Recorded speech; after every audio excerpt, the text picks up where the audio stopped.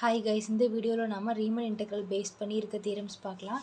நான் ஆல்ரெடி வந்துட்டு ரீமன் இன்டெக்ரல்னால் என்னன்னு ஒரு வீடியோ போட்டிருப்பேன். ஸோ அதை பார்க்கலன்னா உங்களுக்கு இது புரியாது. ஏன்னா இதை பேஸ் பண்ணி தான் அந்த தீரம்ஸ் எல்லாமே எக்ஸ்பிளைன் பண்ண போகிறேன் சரி இப்போது நம்ம தீரம்ஸ் பார்க்குறதுக்கு முன்னாடி ஒரு சின்ன நமக்கு தேவையான கான்செப்டை ஒரு சின்ன ரீகேப் மாதிரி நம்ம பார்த்துக்கலாம்.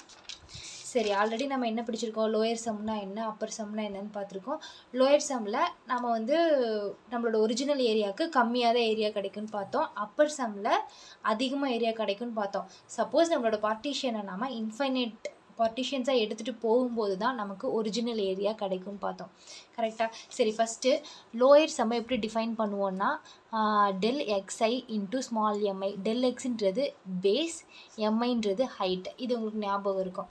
சரி இப்போ இதே வந்து நான் இந்த பார்ட்டிஷன்ஸை நான் இன்ஃபினிட் பார்ட்டிஷன்ஸாக எடுக்கும்போது எனக்கு ஒரிஜினல் ஏரியா கிடைக்கும். அப்போ நம்ம எப்படி எழுதலாம்னா சுப்ரீமம் ஆஃப் லோயர் சம்முன்னு பார்த்தோம். சுப்ரீமம் ஏன் வந்தது நான் ஆல்ரெடி அந்த வீடியோவில் எக்ஸ்பிளைன் பண்ணியிருப்பேன். ஸோ நீங்கள் அந்த வீடியோ பார்த்துக்கோங்க.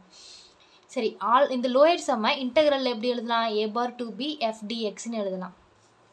சரி இப்போ நான் இது ரெண்டையும் தான் நாங்கள் யூஸ் பண்ண போகிறேன் இப்போ நான் இந்த லோயர் சம்மோட அந்த டிஃபைன் ஃபார்முலா இருக்கு இல்லையா? இது இன்னும் கொஞ்சம் டிஃபைனாக எழுதலாம். என்னென்னா L of p comma f comma x is equal to summation of i is equal to 1 to n del xi into mi சரி நான் ஏன் இங்கே எக்ஸ்னு போட்டேன்னா நம்ம எக்ஸ் போட்டுக்கலாம் போடாமலே இருக்கலாம். சில புக்கில் வந்து இந்த மாதிரி எழுதியிருப்பாங்க. சில புக்கில் வந்து வெறும் பீக்கமா எஃப்னு இருக்கலாம். ஸோ அந்த என்ன புக்கை ரெஃபர் பண்ணுறோமோ அதை பொறுத்து. இது வந்து ஜஸ்ட் நம்மளோ நம்ம புரிஞ்சுக்கிறதுக்காக தான் இந்த மாதிரி எழுதுறது. இதில் என்னென்னா பீன்றது பார்ட்டிஷன் எஃப்ன்றது நம்ம என்ன ஃபங்க்ஷன் எடுத்தோம் அந்த ஃபங்க்ஷனில் நம்ம டிஃபைன் பண்ண பார்ட்டிஷன்ஸ்க்கு என்ன பேர் கொடுத்துருக்கோம்? X naught X one X two so அந்த மாதிரி கொடுத்துருந்தோம்னா நம்ம எக்ஸ்ன்னு எடுத்துக்கலாம். அல்லது எக்ஸ் இல்லாமலையும் எழுதிக்கலாம். இது நம்மளோட கன்வீனியன்ட் ஸோ என் ஆத்தர் எப்படி யூஸ் பண்ணியிருக்காங்களோ அதுக்கு ஏற்ற மாதிரி நம்மளும் எழுதிக்கலாம். சரி இப்போது இது தெரிஞ்சிருச்சுல இப்போ இதை தான் நான் இங்கே யூஸ் பண்ண போகிறேன் பட் ஒரு சின்ன டிஃப்ரென்ஸ் என்னென்னா நான் இங்கே எக்ஸுக்கு பதிலாக ஆல்ஃபான்னு சொல்லிட்டு யூஸ் பண்ணிக்கிறேன். அப்போ என்னோடய லோயர் செம் ஃபார்மில் எப்படி இருக்கும்னா L of P comma F comma alpha is equal to summation of i is equal to one to n del நாங்கள் எக்ஸ் யூஸ் பண்ணியிருந்தேன் அதனால் எக்ஸை போட்டேன். இங்கே நான் ஆல்ஃபா யூஸ் பண்ணிருக்கு யூஸ் பண்ணியிருக்கிறதுனால ஆல்ஃபா ஐன் போட்டுக்கிறேன். இன்ட்டு எம்ஐ சரி இது வந்து லோயர் சம்மை டிஃபைன் பண்ணப்போ டிஃபைன் பண்ணுற ஃபார்முலா இஃப் சப்போஸ் நான் என்னோடய பார்ட்டிஷியன்ஸை இன்க்ரீஸ் பண்ணுறல நான் என்னோடய பார்ட்டிஷியன்ஸை இன்ஃபைனைட் பார்ட்டிஷியன்ஸ்க்கு இன்க்ரீஸ் பண்ணும்போது நமக்கு ஒரிஜினல் ஏரியா கிடைக்கும்னு நம்ம பார்த்தோம். சரி இப்போது நல்லா நான் ரீகால் பண்ணி பாருங்கள் நாலு பார்ட்டிஷியன்ஸ் நாம் எடுக்கும்போது நமக்கு என்ன என்ன வேல்யூ கிடைச்சது? One point nine six eight seven five கிடைச்சது. இதே நாலு பார்ட்டிஷனுக்கு one point nine six eight seven five infinite பார்ட்டிஷனுக்கு two point three three இந்த டூ பாயிண்ட் த்ரீ த்ரீ தான் நம்மளோட ஒரிஜினல் ஏரியா அதாவது நான் பார்ட்டிஷன்ஸை இன்க்ரீஸ் பண்ண பண்ண எனக்கு ஒரிஜினல் ஏரியா கிடச்சிருக்கு. கரெக்டாக சரி. இப்போது இது வந்து நான் பார்ட்டிஷன்ஸை இன்க்ரீஸ் பண்ணுறதுக்கு முன்னாடின்னு வச்சுக்கோங்க.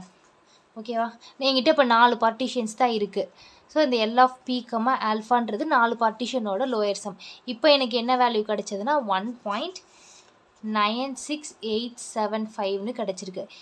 இப்போ நான் இந்த பார்ட்டிஷன்ஸை இன்ஃபினிட் பார்ட்டிஷன்ஸை நான் இன்க்ரீஸ் பண்ணும்போது அதை எப்படி எழுதிக்கலாம்னா எல் ஆஃப் பி ஸ்டார்னு எழுதிக்கலாம். பி ஸ்டார்ன்றது நான் பார்ட்டிஷன்ஸை இன்க்ரீஸ் பண்ணியிருக்கேன் இல்லையா? அதனால் நான் பி ஸ்டார்னு எழுதியிருக்கேன்.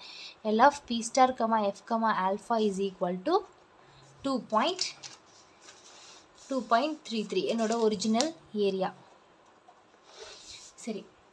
இப்போ பார்த்து நல்லா பார்த்தீங்கன்னா உங்களுக்கு கிளியராக தெரியும். என்னென்னா பார்ட்டிஷன்ஸ் இன்க்ரீஸ் பண்ணுறதுக்கு முன்னாடி எனக்கு நைன் ஒன் பாயிண்ட் நைன் சிக்ஸ்னு கிடச்சிது. இதே நான் பார்ட்டிஷன்ஸை இன்க்ரீஸ் பண்ணும்போது எனக்கு டூ பாயிண்ட் த்ரீ த்ரீன்னு கிடச்சிது. அப்போ இது ரெண்டையும் பேஸ் பண்ணி நம்ம ஒரு ரிசல்ட் எழுதலாம் இல்லையா? என்னென்னா L of P comma F comma alpha less than or equal to L of P star comma F comma alpha சரி ஏன் நான் இங்கே ஈக்குவல் டு போட்டேன்னா சப்போஸ் நான் என்னோடய பார்ட்டிஷன்ஸ் இன்ஃபினிட் பார்ட்டிஷன்ஸ்க்கு ஒரு ஒரு பார்ட்டிஷன் முன்னாடி இருக்குதுன்னு வைங்களேன். அப்போ எனக்கு வேல்யூ டூ பாயிண்ட் த்ரீ டூன்னு இருக்கலாம் டூ பாயிண்ட் த்ரீ டூ நைனுன்னு இருக்கலாம் ஸோ ஆனால் கம் ஈக்குவல் டு இருக்க சான்ஸ் உண்டு. ஏன்னா நம்ம சுப்ரீமம் எடுக்கும்போது நமக்கு ஈக்குவல் டு கிடைக்குது இல்லையா? ஸோ ஈக்குவல் ஈக்குவல் வர சான்ஸ் இருக்குது பட் எச்சா போக சான்ஸ் இல்லை. இதை விட அதிகமாக போக பார்ட்டிஷன் இன்க்ரீஸ் பண்ணதை விட இது அதிகமாக போக வாய்ப்பே இல்லை. அதனால தான் என்ன பண்ணியிருக்காங்கன்னா லெஸ் தென் ஆர் ஈக்குவல் ரிலேஷனில் எழுதியிருக்காங்க. சரி. இதே மாதிரி அப்பர் சமுக்கும் ஒரு ரிலேஷன் எழுதலாம். ஸோ அப்பர் சமுக்கு நம்ம என்ன பார்த்தோம்? அப்பர் சம் எப்படி டிஃபைன் பண்ணோம்? Same del X I into capital எம்ஐன்னு பார்த்தோம். ஸோ இதுக்கு வந்து இன்ஃபிமம் நம்ம டிஃபைன் பண்ணுவோம். சரி இங்கேயும் நான் அப்பர் செம்ம ஆல்ஃபா யூஸ் பண்ணி எழுதிக்கிறேன். அப்போது upper sum of P of F comma ஆல்ஃபாவை நம்ம எப்படி டிஃபைன் பண்ணுவோம்? Summation of I is equal to one to N del del alpha I into M I சரி இப்போ நாலு பார்ட்டிஷன்ஸ் இருக்கும்போது நம்மளோட நாலு பார்ட்டிஷன்ஸ் இருக்கும்போது நமக்கு என்ன வேல்யூ கிடைச்சது? டூ பாயிண்ட் செவன் ஒன் கிடச்சிது. இன்ஃபைனைட் பார்ட்டிஷன்ஸ் இருக்கும்போது எப்படி கிடைச்சதுன்னா டூ பாயிண்ட் த்ரீன்னு கிடைச்சது. அதாவது என்னோட அப்பர் சம்மில் எப்பவுமே ஓவர் எஸ்டிமேட்டாக தான் இருக்கும் ஏரியா நாம் அதை குறை ரெக்டாங்கில் இன்க்ரீஸ் பண்ண பண்ண நமக்கு அந்த ஏரியா வந்து குறைஞ்சிக்கிட்டே வந்து ஒரு கட்டத்தில் ஒரிஜினல் ஏரியா கிடைக்கும்னு பார்த்தோம். சரி இங்கே அதே மாதிரி தான் ஸோ டூ பாயிண்ட் செவன் ஒன்லேருந்து குறைஞ்சிக்கிட்டே டூ பாயிண்ட் த்ரீ வந்திருக்கு. So four பார்ட்டிஷியன்ஸில் two point seven one infinite பார்ட்டிஷியன்ஸில் two point three அப்போ என்ன எழுதுறேன்னா இது ஃபோர் பார்ட்டிஷியன்ஸ்க்கான அப்பர் சம்மாக இருந்தால் இதுக்கு two point seven one area கிடச்சிது. இதே நான் பார்ட்டிஷியன்ஸை இன்க்ரீஸ் பண்ணுறேன் ஸோ அதை பி ஸ்டார்னு எடுத்துக்கிறேன். இப்போ எனக்கு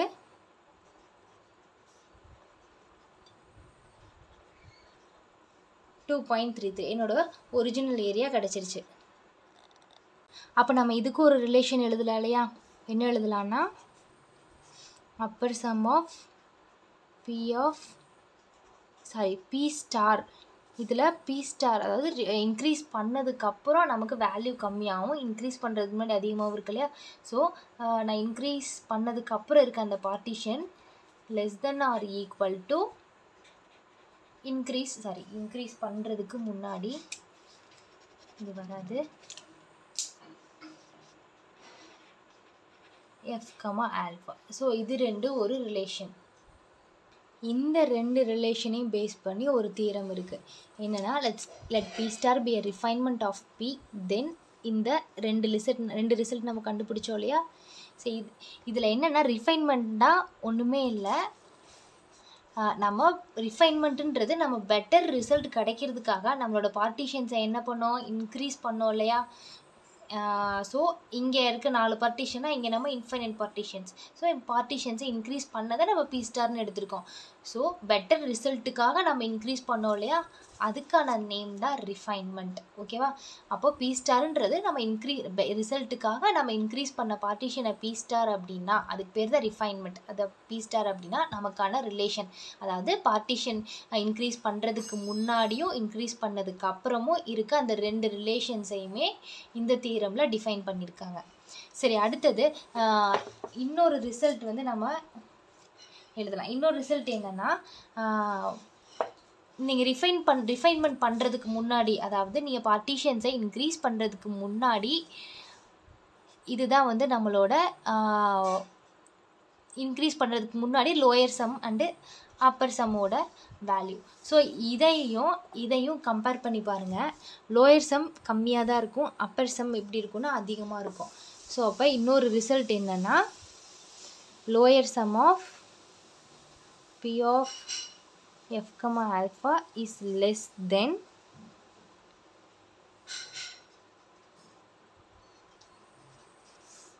upper sum அல்லது மே உங்களோட பார்ட்டிஷன்ஸ் வந்து இன்ஃபினிட்டுக்கு கொஞ்சம் முன்னாடி இருந்தது அப்படின்னாலும் இப்போ இன்ஃபினிட்டை டச் பண்ணுற மாதிரி இருந்தாலும் ஈக்குவல் டுவாக இருக்கும் பட் ஆனால் கிரேட்டர் தென்னாக இருக்கவே இருக்காது. இதுதான் வந்து இந்த ரிலேஷன் சரி இப்போ இதில் வந்து நம்ம ஆல்ரெடி பார்த்தோம்ல லோயர் சம் எப்படி நம்ம டிஃபைன் பண்ணலாம்? A bar to B F இங்கே நான் ஆல்ஃபா எடுத்ததுனால F D alpha is less than or equal to integral A to B bar F D alpha so இது ஒரு ரிசல்ட்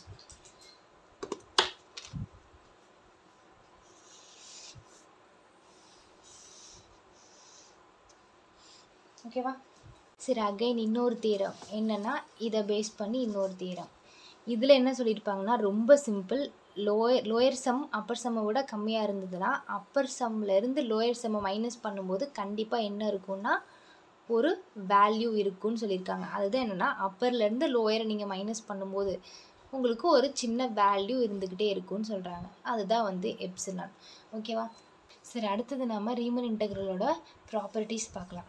சரி ஃபஸ்ட்டு ப்ராப்பர்ட்டி என்னென்னா இப்போ நம்மக்கிட்ட ரெண்டு ஃபங்க்ஷன் இருக்குது அந்த ரெண்டு ஃபங்க்ஷனை ஆட் பண்ணுறோம் அப்படின்னா இது லீனியர் ப்ராப்பர்ட்டி நம்ம என்ன பண்ணிக்கலாம்னா ரெண்டு ஃபங்க்ஷனை தனித்தனி இன்டெக்ரலாக எழுதிக்கலாம். சப்போஸ் நம்மக்கிட்ட ஒரு கான்ஸ்டன்ட் இருக்குது அப்படின்னா ஸோ அந்த சீன்றது கான்ஸ்டன்ட் கான்ஸ்டன்ட் இருக்குது அப்படின்னா நம்ம கான்ஸ்டண்ட்டை இன்டெக்ரலுக்கு வெளியே எடுத்துக்கலாம். ஸோ கான்ஸ்டன்ட் இன்ட்டு நம்மளோட அந்த இன்டெக்ரேஷன் ஸோ இது ஒரு ப்ராப்பர்ட்டி ஓகே அடுத்து இந்த ப்ராப்பர்ட்டி வந்து இம்பார்ட்டண்ட்டான ப்ராப்பர்ட்டி என்னென்னா ஒரு அப்சல்யூட் மினிமம் அப்சல்யூட் மேக்ஸிமம் கொடுத்துட்டு எப்படி இருக்கும்னு டிஃபைன் நம்மளோட அந்த இன்டெக்ரேஷன் அந்த ஏரியா இருக்குல்லையே அதை எப்படி டிஃபைன் பண்ணலான்னு இந்த தீரமில் சொல்லியிருப்பாங்க. சரி எம்ன்றது அப்சல்யூட் மினிமம் கேபிட்டல் எம்ன்றது அப்சல்யூட் மேக்ஸிமமாக இருந்ததுன்னா இந்த ரிலேஷன் ஸோ இது என்னன்னு நான் சொல்கிறேன் சரி அப்சல்யூட் மினிமம் அப்படின்றது இந்த ஃபங்க்ஷன்லையே இந்த ஃபங்க்ஷன் எனக்கு ஏ டு பி இந்த இன்டர்வல்குள்ளே மட்டும்தான் இருக்குது ஓகேவா இந்த இன்டர்வல்குள்ளே என்னோட மினிமம் வேல்யூ எது அப்படின்னா இதுதான். அடுத்தது இந்த இன்டர்வலில் என்னோட மேக்ஸிமம் வேல்யூ எஃப்எஃப்எக்ஸில் டச் ஆகுறது எதுனா இது. So absolute minimum and absolute maximum சரி இதில் என்ன அப்படின்னா இதை M absolute minimum capital M வந்து absolute maximum into B minus A நம்ம கொடுக்கும்போது நமக்கு ஏரியா கிடைக்கும். ஸோ அப்சல்யூட் மினிமமில் ஸோ இது ஏ டு பிக்குள்ளே டச் ஆகிற லைன் ஸோ இந்த ஏரியா தான் அப்சல்யூட் மினிமம் அதாவது எம் இன்ட்டு பி மைனஸ் ஏன்றது இந்த ஏரியாவை கவர் பண்ணும். ஓகேவா சரி. இப்போ இந்த ஏரியா பார்த்திங்கன்னா உங்களுக்கு கொஞ்சம் கம்மியான ஏரியாவாக தான் இருக்குது ஸோ இது லெஸ் தென் நம்மளோட whole F of X so whole F of எக்ஸோட ஏரியா எப்படி வரும்னா ஏ டு பியில் நம்ம ஃபங்க்ஷனுக்குள்ளே கவர் ஆகிருக்கு இந்த ஏரியாஸ்